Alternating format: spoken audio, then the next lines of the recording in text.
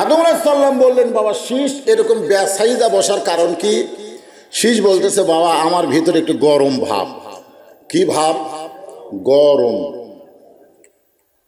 বর্তমান সরকারের একটা পুতিক আছে, তার নাম কি?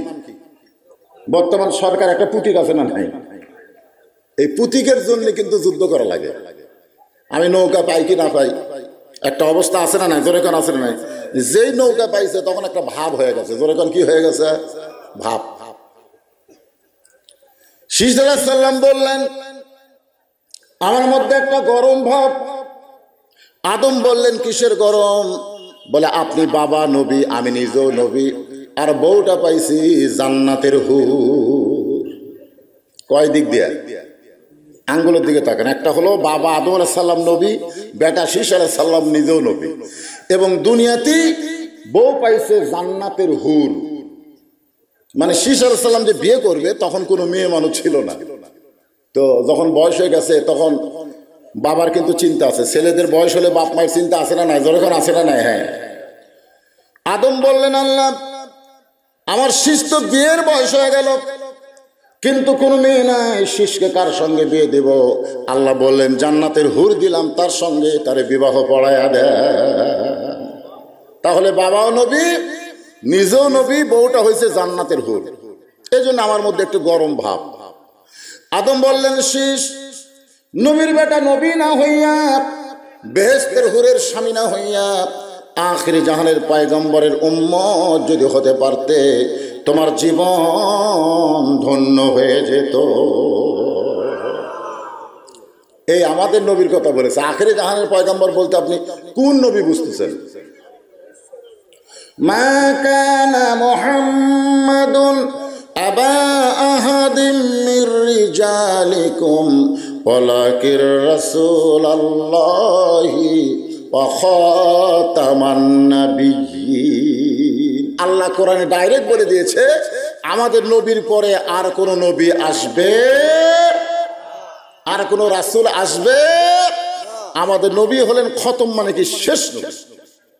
তা আদম আলাহিসাল্লাম কিন্তু আমাদের নবীর নাম বলে নাই, শুধু বলেছে, আখের জাহানের পাইগম্বরের উম্মত যদি হতে পারো, তাহলে তোমার জীবন ধন্য হয়ে যাবে। শীষ আর বসে নাই লাভ ধরছে। উঠে বলতেছে, বাজান, এটা কেমন কথা? নবীর বেটা নবী না হইয়া বেহেস্তের হুরের স্বামী না হইয়া, সেই নবীর উম্মত হলে আমার জীবন ধন্য হবে কেমনে? আদম বলতেছেন, তোমার বাবা একটা ভুল করার কারণে সাড়ে তিনশো বছর কান্দা লাগছে। কত বছর?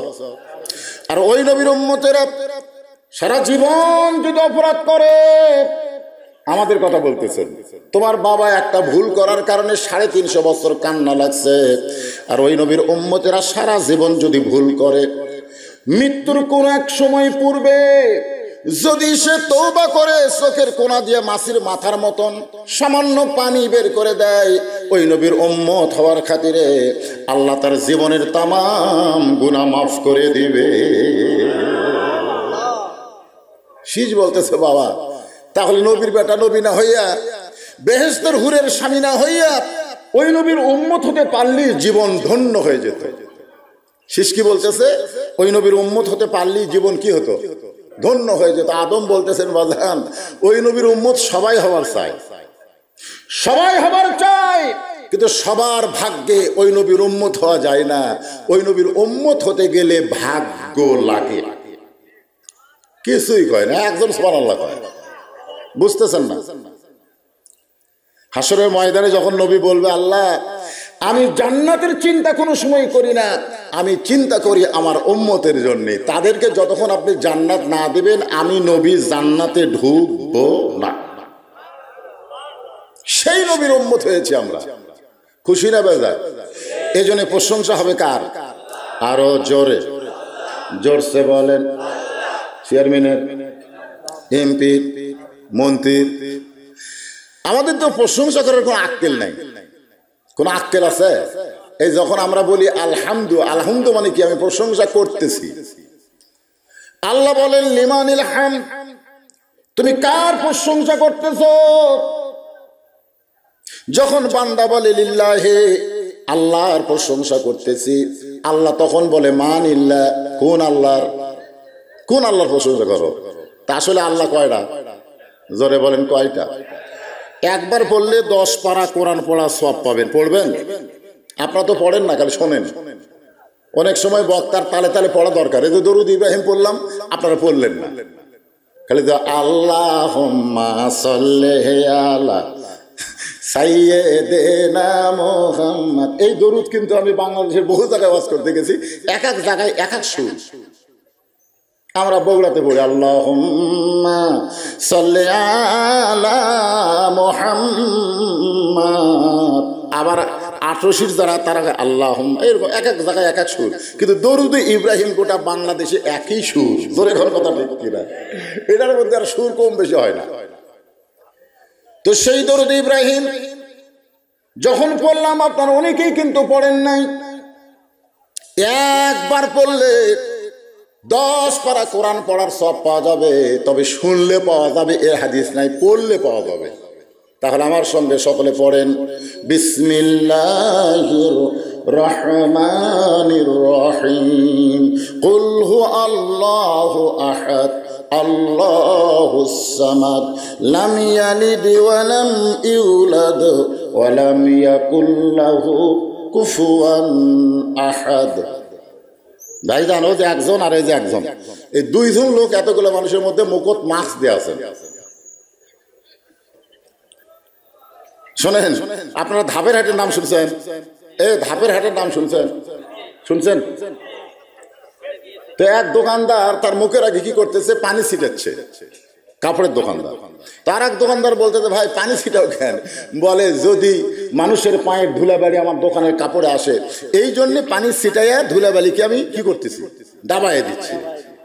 তখন লোকটা বলতেছে ঠিক আছে, তোমার দোকানের সামনে পানি ছিটাইয়া তুমি ধুলাবালি দাবাইয়ে দিলে, কিন্তু যদি ঝড় ওঠে, যদি ঝড় ওঠে তখন কি করবা? তাহলে তো সমস্যা। তো সবার মুখেই মাস্ক নাই। আপনারা খামাকা দুইজন দিয়ে কি একটা বেকায়দা। আসলে মাস্ক পরা লাগবে। যখন রাস্তাঘাটে চলবেন ধুলাবেলি যেন আপনার নাকে মুখে না ঢোকে, এই জন্য মাস্ক খালি করোনার জন্য না, সবসময় পরা দরকার। ধরে কোন ঠিক কিনা? কিন্তু যে জায়গায় ধুলাবালি ওড়ে না, যেরকম আপনার ঘরে যদি থাকেন মাস্ক লাগবে না। কোরআনে মাহফিলে বসলেন রহমতের বাগান, এখানে মাস্ক লাগবে না। এটা কি ধুলাবেলি আছে? কথা কন না কেন আছে? এই সুযোগে আমি বক্তায় আপনার দেখেন, আপনারা শ্রোতা, আপনাদেরকে আমি দেখি। একটা দেখা দেখির মধ্যে মহব্বত আছে না নাই? হ্যাঁ। আল্লাহর প্রশংসা করার তিন নম্বর কারণ হলো, আপনারা যে কোরআন থেকে আলোচনা শুনতে আইছেন কোরআন শরীফ না? মাশাল্লাহ যে কোরআন থেকে আপনারা আলোচনা শুনবেন এই কোরআন শরীফ একটাই মাত্র কিতাব, যার মধ্যে এখন পর্যন্ত কেউ কোনো ভেজাল ঢুকাবার পারে নি। হাদিসের মধ্যে ভেজাল আছে। হাদিসের মধ্যে কি আছে? যেরকম একটা হাদিস আছে আউআলুমা খালাক আল্লাহ নুরি। এই যে নবীর একটা হাদিস। ইবনা আব্বাস থেকে বর্ণিত যে সর্বোত্তম আল্লাহ তালা নবীর নূরকে সৃষ্টি করেছে লাউলালিমা খালাক্তুল আফলাক। আমাকে সৃষ্টি না করা হলে কোনো কিছু সৃষ্টি করা হতো না। বর্তমান এসে এই হাদিসগুলা পাওয়া যাচ্ছে, এগুলা নবীর হাদিস না। এই পাওয়া যাচ্ছে, অনেকে বলতেছে এগুলা জাল হাদিস। জোরে কর কি হাদিস? কথা কয় না তাহলে বোঝা গেল হাদিসের মধ্যেও জাল আছে। কিন্তু আপনারা বলুন তো কোরআনের মধ্যে একটা আয়াত বার করেন। যে আয়াতটাকে জাল বলা যাবে, যেই কোরআন এখন পর্যন্ত একটা নোক্তায় একটা জবর কেউ পরিবর্তন করতে পারে নাই, কিয়ামত পর্যন্ত পারবে? আল্লাহ কোরআন কারিমের মধ্যে বলেছেন, ইন্না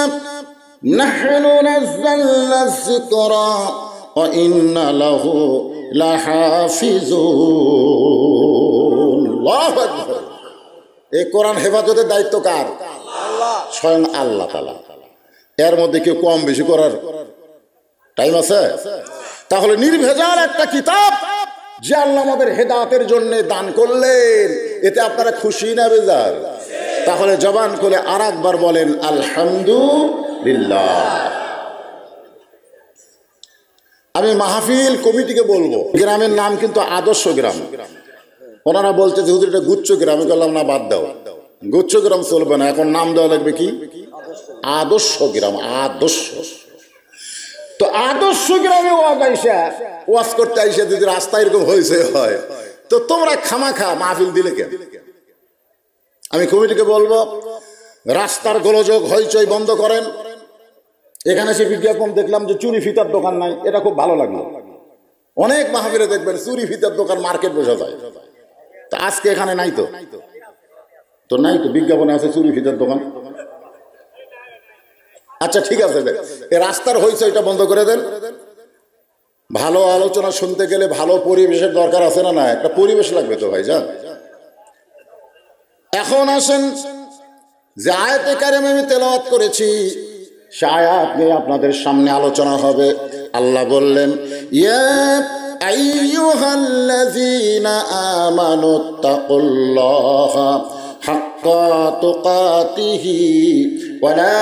তামুতুন্না ইল্লা ওয়া আনতুম মুসলিমুন সবাই বলবেন, আল্লাহু আকবার। আল্লাহ কত বড়? তার কোনো মাপ আছে নাকি? মাপ আছে? আল্লাহ আকবার দিয়ে সেটাই বলা হয়ে যায় সোর আল্লাহ বলেন। আল্লাহ আকবার এই কারণেই বলবেন কারণ সব জিকিরে কিন্তু শয়তান বেজার হয় না। আপনি যদি সারাদিন সোহান আল্লাহ তসবি পড়েন, আলহামদুলিল্লাহ আলহামদুলিল্লাহ জিকির করেন, শয়তান কিন্তু বেজার হবে না। কিন্তু যখনই বলবেন আল্লাহ একবার সঙ্গে সঙ্গে শয়তান শুধু বেজারই হয় না। আল্লাহ নবী বলেছেন, শয়তানের গায়ে আগুন লেগে যায়, শয়তান বাতাস ছাড়তে ছাড়তে পালায়া যায়। সোনাল্লাহ বলেন। শয়তান কিন্তু সোনাল্লাহ বললে বেজার হয় না। আলহামদুলিল্লাহ বললে বেজার। কি বললে হয়? আল্লাহ। আজকে আমাদের বাংলাদেশে বহু মুসলমানে আল্লাহ একবার বলতে পারতেছে না। বহু মুসলমান।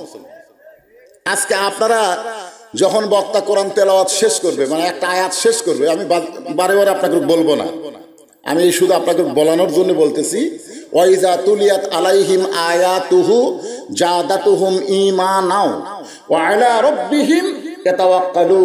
কোরআনের আয়াত যখন কেউ তেলাওয়াত করে অথবা শোনে, আল্লাহ তালা এই আয়াতের মারপাশে তার ইমানের জজবাকে বাড়ায়া দেয়। তো ইমানের জজবা ইমানের তারাক্কি হলে মানুষ কি চুপ থাকে না জবান খোলে? আজকে আমাদের বাংলাদেশে খালি জবান না খোলার কারণে, জবান না খোলার কারণে গোটা বাংলাদেশে অন্যায় গ্রেফতার হয়ে যাচ্ছে জোরে কোন কথা ঠিক কিনা? খালি জবান খোলে না। একটু দেখেন তেলের দাম বাড়ছিল। বাস ট্রাকেরা জবান খুললো। সরকার দেখল তো এদের জবান খুলছে, এদের কিছু টোপ দেওয়া দরকার। সরকার কাছে টাকা বলল, তোরা চিল্লেস কেন? এই, তোরা তোরা পরিবহন ধর্মঘট করিস কেন? তোদের ভাড়া তো আমরা বাড়াইয়া দেব।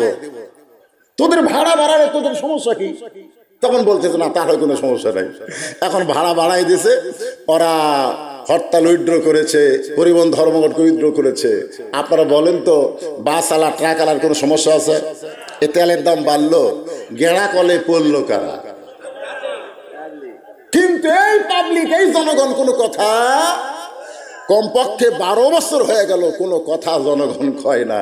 কারণ একটাই চিন্তা, না জানি কি হয়, না জানি কি হয়। এই না জানি কি হয় এর কারণে। আজকে আমাদের অবস্থাটা এরকম হয়েছে যে কোরআনের মাহফিলে আল্লাহ আকবার পর্যন্ত আমাদের মুখ দিয়ে বের হয় না।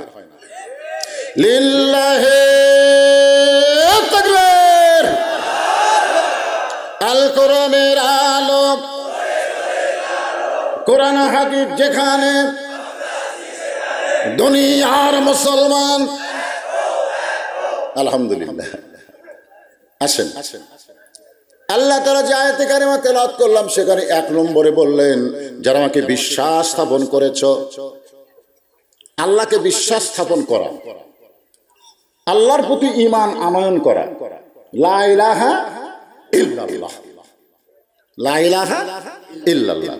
আপনারা বলেন তো, লা ইলাহা ইল্লাল্লাহ একত্রে পাঠ করলে এর বাংলা অর্থ কি? আমি যদি ভাগ করি, লা ইলাহা লা ইলাহা লা ইলাহা, আবার ইল্লাল্লাহ ইল্লাল্লাহ ইল্লাল্লাহ, যদি আমি ভাগ করি, তাহলে কি অর্থ হয়? আর একত্র করলে কি অর্থ হয়? কেউ যদি বলে, লা ইলাহা, নাই আল্লাহ, লা ইলাহা, নাই আল্লাহ, ইল্লাল্লাহ, আল্লাহ ছাড়া, ইল্লাল্লাহ, আল্লাহ ছাড়া। কিন্তু যখন বলব না ইলাহা ইল্লাল্লাহ, নাই কোনো আল্লাহ আল্লাহ ছাড়া। এখন সোহান আল্লাহ এটাই হলো ইমানের মূল মন্ত্র। বাবা, আদম থেকে আমাদের নবী পর্যন্ত সমস্ত নবীরা এই কলেমার উপরে মেহনত করেছে। ধরে কোন কথা ঠিক কিনা? সাহাবেরা জিজ্ঞাসা করলেন, ইয়া রাসূল আল্লাহ ইমান সম্পর্কে আমাদের একটু বলেন। আল্লাহ নবী বলতে পারতেন, লা ইলাহা ইল্লাল্লাহ। কিন্তু নবী বললেন, ইমান সম্পর্কে যদি জানতে চাও তাহলে এক নম্বর হলো ইকরার বিল্লিসান, জবানে বলা লাগবে, লা ইলাহা ইল্লাল্লাহ। তাসদিক বিল জানান, দুই নম্বর হলো জবানে পড়ার সঙ্গে সঙ্গে ওইটা কলিজার মধ্যে সেট করা লাগবে। দুই নম্বর কি? এটা কলিজার মধ্যে সেট করতে হবে। তিন নম্বর হলো আমল বিল আরকান, শুধু কলিজার মধ্যে কলেমা সেট করলে হবে না। ওই কলেমা অনুযায়ী আমল করা লাগবে। কেউ যদি বলে লাইলাহা ইল্লাল্লাহ চাকরি ছাড়া চলবো কেমনে? লাইলাহা ইল্লাল্লাহ, আবাদ না হলে খাব কি? লাইলাহা ইল্লাল্লাহ, ব্যবসা না হলে মরিয়া যাব। আপনারা বলেন তো, আর লাইলাহা ইল্লাল্লাহ মুখে আছে, কিন্তু করি কলিজার চাকরি না হলে খাব কি? আবাদ না হলে খাব কি? চাকরি না হলে চলবো কেমনে? ব্যবসা না হলে মারা যাব। আপনারা বলেন তো, খাওয়ানোর মালিককে চলানোর মালিককে, বাঁচানোর মালিককে। তাহলে আবাদ চাকরি ব্যবসা এগুলো একটাও না সব কিছু হলো আল্লাহ এই জন্য আল্লাহ কোরআনে বললেন ইন্নাল লাযিনা ক্বালু ربنا الله ثم استقاموا تتنزل عليهم الملائكة ألا تخافوا ولا تحزنوا وأبشروا بالجنة التي كنتم توعدون